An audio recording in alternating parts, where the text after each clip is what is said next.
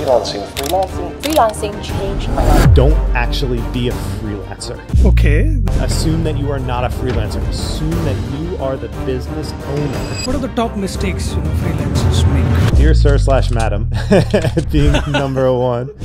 It's absolutely terrible. And if anybody who is watching or listening to this uh, has ever written that in their cover letter, then please never do it again. Otherwise, I will spank you personally. I'll come.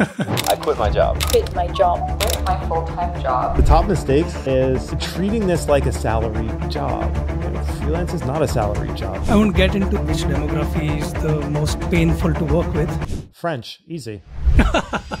On Upwork, it's all about can you be the person, that magic person that I'm I've been looking for in the entire world because you can literally be anywhere in the world. I know freelancers in India, Pakistan, Thailand, Philippines, South Africa that have all made over a million dollars on Upwork. Wow, it's a big amount, yeah. It's tremendous. It is Life-changing, yeah. Life Yeah. change exactly. You only get there by being the person who is truly the best, who knows how to speak to clients better, who knows how to tap into what it is that they actually want. But when you nail it, you nail it. As long as you can keep delivering excellent results and focus on that, the sky is literally the limit. Hello everyone, welcome to the Fireside Chats. Today we have with us one of the highest earning individual freelancers worldwide on Upwork. At one point in time, he was the number one. In his first four years as a freelancer, he earned a whopping 1.6 million USD on Upwork, Fiverr, and TopTal. Nowadays, he helps freelancers on his YouTube channel called Freelance MVP. I'm talking about none other than Evan Fisher. Evan, welcome to the show. Thanks, Japam. Great to be here. Evan, uh, there is so much more to you. Uh, please uh, tell us more about yourself and, of course, freelance MVP. Sure. So, uh, best to start at the beginning. Uh, when it uh, what it was, let's see, 2017. I I got fired from a job, and I was in the middle of of Spain, and there was absolutely no way that I was going to get uh, another job for anything uh, of of reasonable salary. And I had a wife and a daughter, uh, three month old at that time, to take care of. And I was like, okay, how am I going to make this work? Ultimately, I found uh, freelancing was uh, a, thing that I could do. And so I had to make this work because we have rent to pay and mouths to feed. So um, that's where it all started. And it grew to the point that, as you said, um, I made over $1.5 million in my first four years on Upwork. And I've continued to grow since, uh, both inside and outside of um, Upwork, TopTal, Fiverr, uh, and my own business, uh, working directly with clients. Um, and as a result of that journey, one of the things that I, uh, one of the things that I noticed was there's just not anything really out there from people who know, who have earned, who have grown themselves, and who have actually done it that can give new freelancers and, and people who want to grow the the means to do this themselves. And that was just the, the biggest problem that I saw of like, why is no one talking about this? Why is no one helping others to to to figure this out for themselves and to realize that, hey, this is something that you can do no matter where you are in the world. And so that's Right. where freelance MVP was born.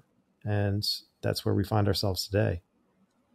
Wonderful. My natural question at this point is like, how did you make so much money? And of course, do you remember your first dollar that you made as a freelancer? Yeah. Yeah, absolutely.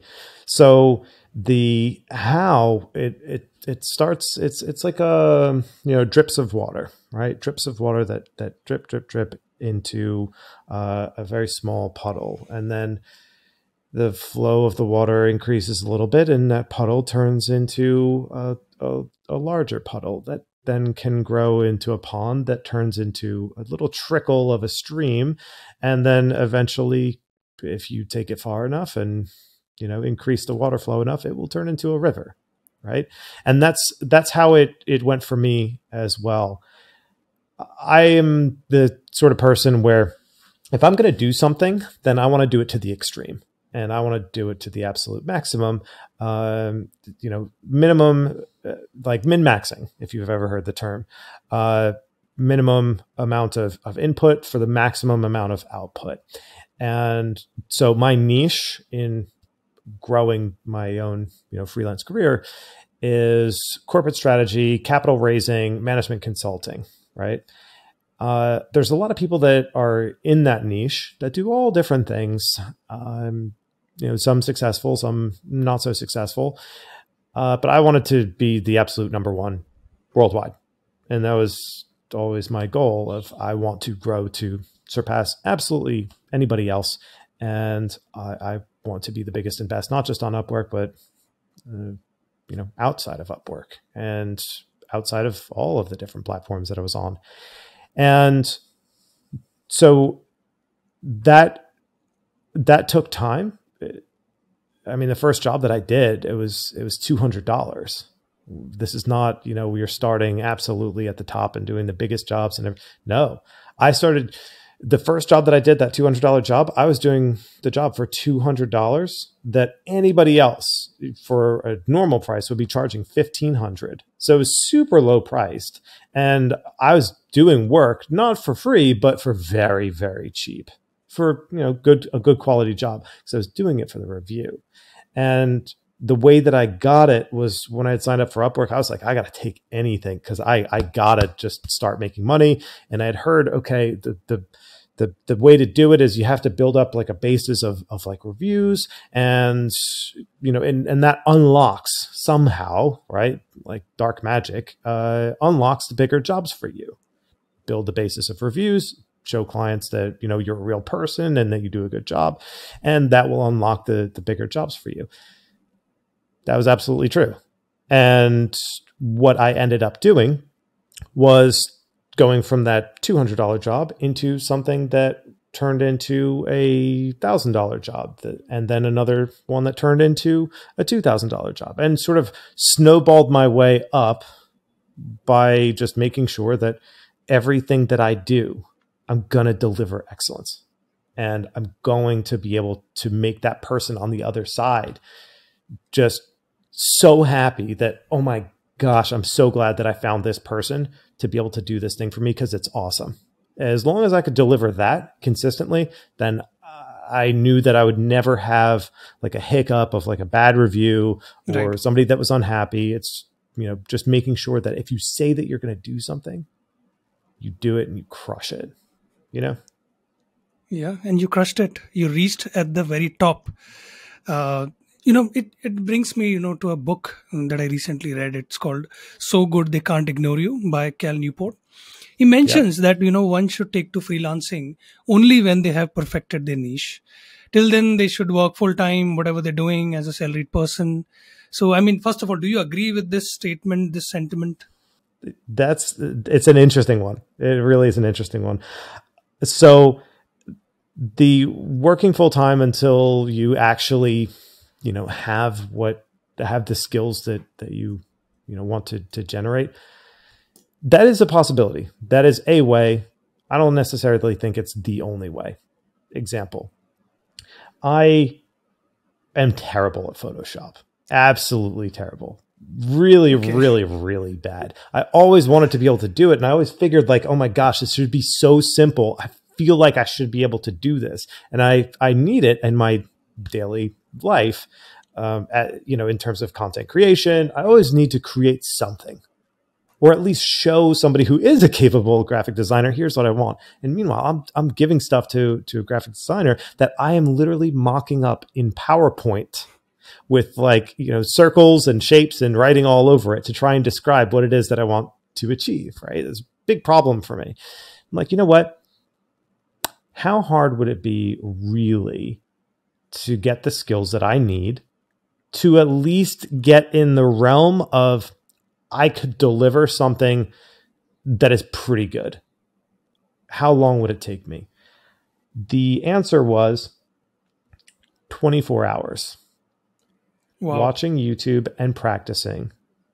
Just 24 hours of concerted effort of first seeking what is good, what is not even what is good, what is awesome. And how can I replicate that and how can I get at least 85% of the way there to deliver something that is awesome, at least 85% of awesome in a short period of time? 24 hours was literally all it took. Wow. So you clearly don't agree with uh, Mr. Cal Newport. So um, I mean, speaking of, you know, I, I don't. I think that yeah. I think that you can do it. It's the the thought is right. Like you want to have the skills before you tell somebody that you have the ability to go and do something for them and accept money for it. I have a I would have a big problem, and I I turn away about 85% of clients just because I know what it is that they need. I understand what they need, but I'm not the person to give them what they need. And I'm not going to take their money and tell them that I'm going to do something um, uh, unless I have the confidence that they will be able to get the result that they want to get right. after working with me. Right. So the, the thought behind it of what Cal Newport is saying is uh, of, of generating those skills before you go out and do that. I agree with, but what I don't agree with is that you have to get a job first in order to do that. I think, and I've at least proven it for myself. I know that in order to be able to do a job that I would be able to charge probably on the low end, $75 an hour for graphic design, uh, for an extremely specific niche, uh, yeah, I I've been able to learn personally those skills in 24 hours. And anybody else can do that cuz it's free. It's on YouTube, right? It's there. You just have to, you know, have the concerted effort to do it. So before you get become a freelancer and you need the skills? Yes. Do you need a job to get there? Absolutely not. Right. So when you say that you know you turn down 85% of you know the requests that come to you, are you saying that yep. in a way to you know grow as a freelancer, you need to know which opportunities opportunities to pick and which to oh, say absolutely. no to, right? Because a lot yeah. of people at the bottom rung who are in the need of work, they just say yes to everything, but they don't mm-hmm. you know filter out as they grow, right? Yep yeah, that's that's a huge problem for a lot of beginner freelancers. You take what you can get, and I myself am guilty of this as well. Okay. Just I have taken jobs uh, because I knew that I needed the money, but at least you know I went in with open eyes of like I am doing this for the money. I know that I'm. It's not the hmm. perfect mm. fit, but I'm doing this for the money, and I know that I'm probably going to have to bend over backwards because it's not the most perfect fit. I can make it fit, but it's not perfect. It's not ideal. But I will do my best to make sure that I'm delivering that person a really fantastic result in, in the end.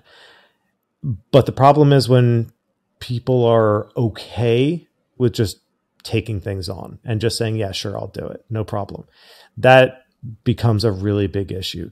You are the only person standing between yourself and a, a potentially like free, freelance career ending bad review. And right. so you have to be the person who guards yourself against that and, and who makes sure that you're not, you're only going to be doing jobs where you know you can knock it out of the park. Either do it, something that's going to be excellent, or don't ever promise that person that you're going to do something for them. Right. It's as simple as that. A lot of people get sucked into that trap, especially in the beginner uh, beginner area things yeah and they don't get out of that phase easily so Mm-mm. that's also there yeah speaking of you know um, the platforms upwork you you know you're mm-hmm. an expert on that so give us your top three advice tips mantras mm-hmm. anything yeah so there's a couple of things and these are all things that we you know teach about in a lot more detail in inside of our course um, but there's a couple things that are really, really important for Upwork. And it kind of goes across the board for for everything else, although all other parts of life as well. Cover letters. You have to make a good first impression. And so in making that good first impression, it's you know, a lot of people assume, especially in their early days and just when they're a beginner, they assume that my cover letter is my show of interest for this job, saying that I can do it right? That's the thought. Really, though, if you want to win the job, just the fact that you have sent a, a cover letter, the fact that you have, you know, pressed send on that, that tells me you're interested as a client. Um, and I understand that you would like the job and that you are interested in having this job.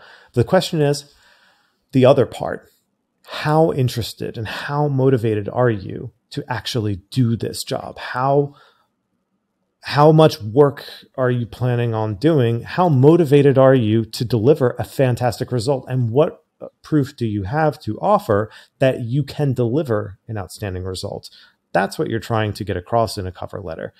Not, hey, here I am, I'm interested and can do the job. Like, Yeah. sorry, that's bullshit. That's that's that doesn't tell anything. That doesn't add any value. Um, Correct. But it, it's it's extremely important to understand that people are looking for something different if you actually want to win the job. Uh, the second piece, you have to search for unbelievable work examples, and this applies for every single niche across the board. Uh, people need to see, not just understand, uh, or or you know, you assume that they're going to get it of what is valuable about the work that you do. It requires seeing through what the stated job is into what does the person actually want. So, example, you give me a job. You say, Evan, I would like for you to create a a, a photoshopped image, right, for that I'm going to use in Facebook ads, right?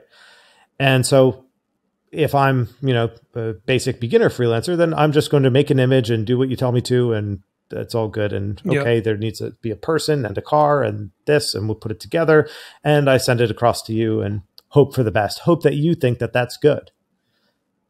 Now if I'm an advanced level freelancer and or a pro freelancer then I need to know okay what is going to be the best kind of image or what's going to get you the result that you want what you actually want. You don't actually want an image. You want an ad that performs and that makes you money and that grows the, the the number of people that are hitting your website or that are you know buying what it is that you have to sell that's what you actually want. And so you know the the the image that i'm creating is just one you know small piece of that. But if i can understand that that's the thing that you really want then we're really talking. So understanding what good looks like and what awesome looks like and what the best in the world looks like and showing that you can do that. That's the that's that would be the second thing. The third thing is very simple. Re- reviews are worth their weight in gold. Um, five stars only. And it, you got to be the one who makes the decision of is this a good client or a bad client? Yeah. and know what all the signs are in between Absolutely. And, you know, speaking of cover letters, they get so much heat, especially, let's say, on LinkedIn. oh yeah People just, they don't understand the utility of it. Mm, So I'm glad that you touched upon that. So, um, speaking of mistakes, what are the top mistakes, you know, freelancers make? uh, dear sir slash madam being number one it's absolutely terrible and if anybody who is watching or listening to this uh, has ever written that in their cover letter then please never do it again otherwise i will spank you personally i'll come uh, really though the the top mistakes is treating this like a salaried job you know freelance is not a salaried job you eat what you kill and you have to be more clever than the next person. And so, yes, that requires constantly shifting your strategy. There are a couple of core things, fundamentals don't change. But if you are writing as you would maybe to like HR or actually to a hiring manager, listen, there is no hiring manager on, on Upwork or, or Fiverr or whomever. You're speaking to the person who makes the decision. So you you have to write to them as they make that decision and convince them to make that decision to hire you. Um, beyond that, it's not going for quality sooner. Being comfortable with I'm going to deliver this level of of quality and this is my process and I'm going to churn through it. There's a big difference between uh, Fiverr and Upwork and TopTal, and its level of expectation of quality that you'll receive as a client. Now, I've done the analysis, run the numbers and everything. Uh, the average client on Upwork spends round about 10 times what the average Fiverr client is going to spend in a given year 10 times. So, and, and that number, by the way, for Upwork is over $5,000 a year. For Fiverr, the average buyer is spending 500. So there's a huge gap in what the average client wants to pay. They want to pay people more. And that's an interesting thing because when you are the person who is offering quality and trying to be, I want to be the number one in this space, Upwork rewards that. Fiverr is a different game. It's a very different game. Um, I have some friends who know that uh, a lot better. But uh, on Upwork, it's it's all about can you be the person, that magic person that I'm I've been looking for in the entire world? And that really is true because you can literally be anywhere in the world. I know uh, I know freelancers in India, Pakistan, Thailand, Philippines, uh, South Africa that have all made over a million dollars on Upwork. Wow. Really? And I mean, a, a million dollars in, in, in South Asia or Southeast Asia or Oceania, it's a in some countries, yeah. It's tremendous. It is Life unreal. Yeah. Life yeah. change. Exactly. And the thing is, you only get there by being the person who is truly the best, who knows how to speak to clients better, who knows how to tap into what it is that they actually want. But when you nail it, you nail it. As long as you can keep delivering excellent results and focus on that, the sky is literally the limit. You can be living like a king. Do you want to get there? Right. That's the only question. Are you motivated? Um, because if you're if you get stuck in that that you know hamster wheel of the grind of of just producing low quality work, you'll end up having a short career on Upwork. So right. that's that's one of the that's one of the things I think that is a mistake that people fall into, but then also the the um, the unlock that gets you on that path to to being in the one percent of, of of freelancers. Right. We are speaking with a one percenter here, one of the at least number one uh, creator at one point in time. So you're the perfect pers- person to answer the following question What does it take to make it to the top? I always boil it down to this like there's a lot of different things, a lot of different things. And I I have them actually written because I'm going to be recording a video for uh, the YouTube channel pretty soon. Uh, I'll, I'll, I can you know run them down for you, yeah, and and they're all fine and good. Uh, number one, don't actually be a freelancer. Okay, that's assume that you are not a freelancer. Assume that you oh. are the oh. business owner of a company that is to be, and you are managing that brand's name and keeping that brand's name pristine. That you will never have anyone, you know, behind your back or anywhere else be speaking bad about you because you only have delivered truly excellent work and been an, a consummate professional the entire way along. So assume that you're never going to be a freelancer, that you are just a growing business owner. Then don't fail. Just don't ever fail. And that's where client vetting comes into play. You have to know what all the signs and all the red flags are. Uh, you know, case in point, if you hop on a call with somebody and it turns out that they're in their car, that may seem like a small thing, may seem okay, may seem perfectly fine, but uh, the subtext of it is, Shubham, I don't respect you. I, yeah. I don't I don't care enough about your time to be sitting in a single place and speaking with you quietly and thoughtfully and be focusing on you. So I'm actually focusing on driving and not killing myself. So it's avoiding anybody who has those red flags and never getting stuck in those traps. Uh, then making it easy on yourself to win clients. That's where what we spoke about with cover letters comes in. And there's a number of other rules, but it all comes down to the relentless pursuit of delivering excellence to people and understanding what it is that they're truly after. Not what they want you to do, but what they're trying to do with what it is that you're going to do hmm. for them. What do right. they really want to achieve? Get to that and, and you're killing it. uh, you're not even in the 1%. You're in the 0.01%. Wow. Okay. Yeah. So speaking of you know these red flags, can you you know give us more examples? Because one of the red flags that I you know uh, I have found is that people not switching on their cameras in one-on-one meetings, and uh, sometimes you know the communication is not clear. They themselves don't know what they're doing.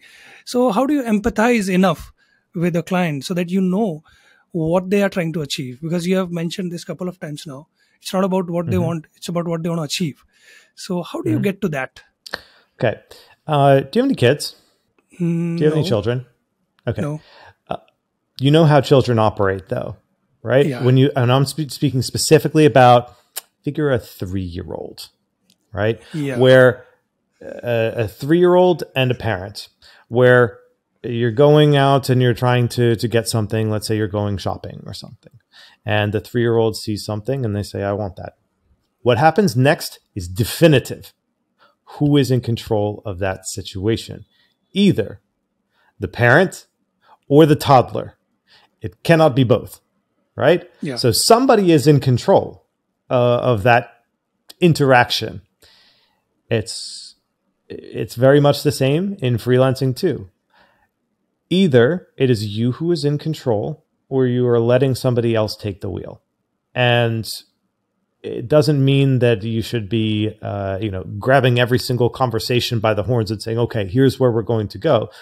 but rather being the gentle guide and the steady hand of I am the professional. I know exactly what it is that we're going to be doing. I have a process, and either you fit into it as a client or we're not working together. We're just not going to be a good fit, and that's okay. Now, the red flags, once you define your own rules of what makes for a good client and what is acceptable for you and what is unacceptable for you, and you know which direction you're going to go, uh, then it's the question of who fits into that box and, and who doesn't. For me, uh, there's a number of red flags and then there's a number of yellow flags. Red flags, deal breaker. Forget it. We're not working together. These are things like if you show up, uh, let's say six minutes late to a 10 minute Yeah. call and have not sent uh, uh, no email, no nothing uh, in advance, or you show up to a call with me uh, unprepared and have having not done your homework, having not watched through any of the things that have been sent to you in advance, um, you know, basically getting you ready for that conversation, um, then yeah, forget it. We're not working together. Red you flag. just aren't prepared to put Yeah. in the homework that you will need because here's what happens next, right? There's little things that are markers of a much bigger uh, symptoms of a much larger disease, let's say. Little thing, uh, you know, sorry, I didn't read your email. That's the little thing. The much bigger piece of it is assume that we work together and you have paid for something and you expect work to be done in four weeks. However, if you as a client don't show up when I need you to do something specific and give me some input on a couple of very specific questions, but you're just too busy, you're you know doing your own thing, not providing information, you're probably going to ghost me. If you don't do your homework then, you're definitely not going to do You're it once do you that. feel entitled as, and have made payments uh, toward me. It's the expectation of, oh, but you're going to go and do it. You're going to go and do it. There is no way in that scenario then that I can guarantee somebody a win. And so with that, red flag, forget it. There are also yellow flags, uh, many of them that on their own, not necessarily a deal breaker, but definitely causes questions. So, uh, yellow flags might be things like uh, I showed up to to a call and that person is asking for a discount right? Asking Hmm, for a discount in, in and of itself you know it's it's normal in a lot of cultures. It's normal. Like you know Yeah. uh, in some cultures it's just expected of of course i'm going to ask you for a discount. Doesn't mean that you're going to get it but there's a line there it's a yellow flag when it's asked for of like okay what about a discount but if it's i would like a discount uh, and also i would like to, you to do more work uh, you know for for that same price and on top of that i have you know a hundred other projects for you to do then you're promising me a bunch more work. But the first one that we're going to do is going to be at cut rate, and I'm expected to do more work for it. All of those things together, that adds up. Multiple red, yellow flags add up to one red flag, right? Now, the other side of that is if it's just, hey, listen, you know, Shubham, can you uh, can you give me a discount? And you know, I, I have to ask. Uh, you know, Yeah. you never know what you can get. And hey, maybe you're feeling like a nice guy that day. Maybe you're like, okay, you know, it's it's it's a nice way of doing it. And okay, let's maybe do a deal. I like this person. Yellow flag, but you know what? Totally fine because all the rest is really cool. And everything else is really relaxed. And there's no insisting of like, you have to give me a discount. Otherwise, we're not working Yeah. together. Nope. No, I don't because we won't work together in the first place. Yeah, yeah, and I understand the cultural aspect of it because you know I've done some freelance work on my own. So there is you know uh, under you understand like uh, the demography of your you know let's say the clients that you're targeting. oh, yeah. So I, I won't I won't get into that you know like which demography is the most painful to work with, but there are uh, you know cultural differences French, that come in the way. my background is um, in international um, in international corporate finance and, and M&A doing cross-border transactions you know from one country to another and um, only uh, where we've got one country working with another country right Right. um, I've worked with a lot of cultures all around the world um, basically clients from about 150 no not 150 more like 120 countries so uh, you know it's it's something that I, I I can say with you know pretty good accuracy. Experience. Okay. Cool. Yeah. So, Evan, one of the things that we do on the show is we ask for our guests to give a breakdown breakdown of their revenue with numbers Mm-hmm. if they are comfortable. So, would you like to share all your revenue streams with us at this point? You have. Um, yeah. At this point, it's so we, we've got uh, and can't give exact numbers just to be honest. Yeah, I'm- sure. I, I don't I don't track them in uh, hundred percent. Um, as far as let's see, on one side of things, we've got um, uh, Upwork uh, work that that I do, which probably makes up about I don't know, maybe thirty percent of, uh, of of the work that I do, and then the other seventy percent um, is going to be direct clients that that we work with uh, through Unicorn, just people that uh, that I've worked with for for years at this point. Um, then beyond that, uh, Fiverr and Toptal making up um, a minimal proportion, less than five percent, um, on an ongoing basis of the revenue on that side of things. Uh, from the uh, freelancer training side, uh, that's that's growing, uh, and you know on on that front, we're looking at it's just early stage of of growth.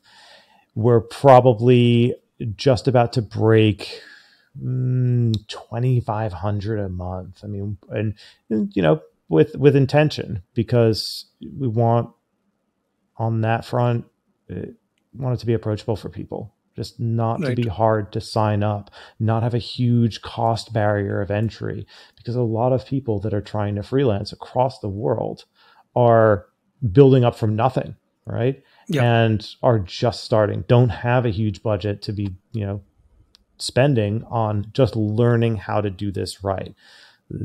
Even though the roi is tremendous um, where we just had our first person break a million dollars in earnings that has come through the course. So uh, and on top of that he made his last hundred thousand in two months which is Wow. nuts. It's un- unbelievable. Um, but nonetheless that's that's got to fit for for everybody. So on that front of things we're literally just getting started and seeing a lot of green shoots and a lot of people joining up um, all the time. So um, on that front if i had to guess uh, i don't know we probably in an average month are doing about 40000 um, and then on on the courses side of things uh, yeah, around about 2,500 and, and growing. Wonderful. Evan Fisher, thank you so much for coming on the show, giving us all the insightful, you know, uh, things and your views mostly. And uh, thank you for supporting freelancers. And if you have anything else to, to say to freelancers, which I didn't ask you, now's the time to say that. Awesome. Well, the one thing that I would say is maybe a, a word of motivation. Absolutely, you can do it. You who are watching, you who are listening, you can do this too. I am not special. I am not some wonderful person. I am just a guy who happens to have figured out a system of how it works, maybe better than anybody else, and have just packaged it into the step by step process of what you need to do in order to do the exact same thing and grow your own your own uh, success. But the thing is, you can do it too, and people everywhere like you, as long as they've got the motivation and desire to push for consistently delivering excellence, you can do the exact same thing.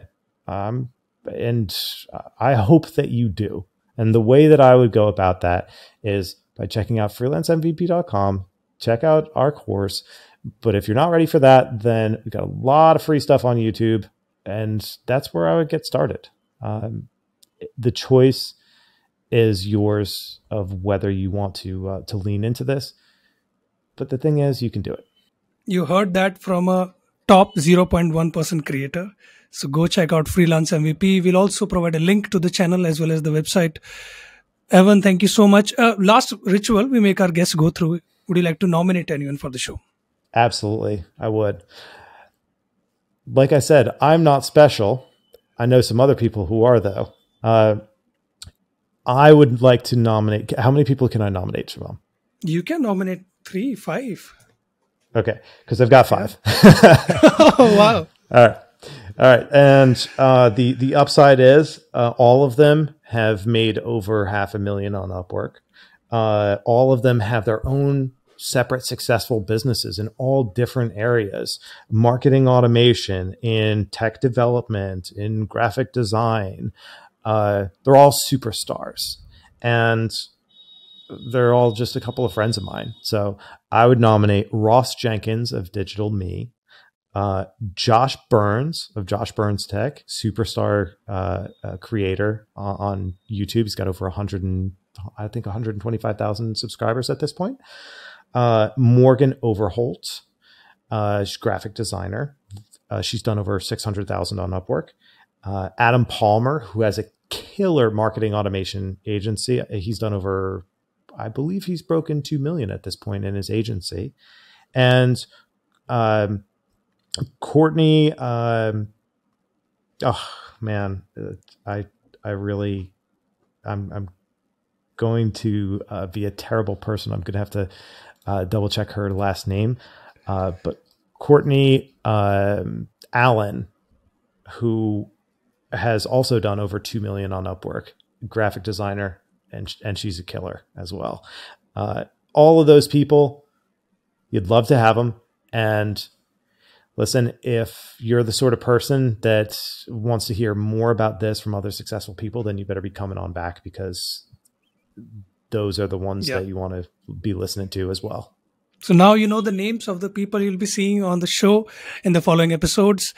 We'd like to uh, thank Evan one last time for appearing on this show and creating all those wonderful videos on his YouTube channel. Keep creating, Sean. Evan. Thank you. Thanks. Absolutely, I will. Same to you. Thank you. And cut. That's it for today's episode, guys. If you really liked it, please subscribe to the Thousand Faces Club and press the bell icon below so that you don't miss any videos from us. Thank you.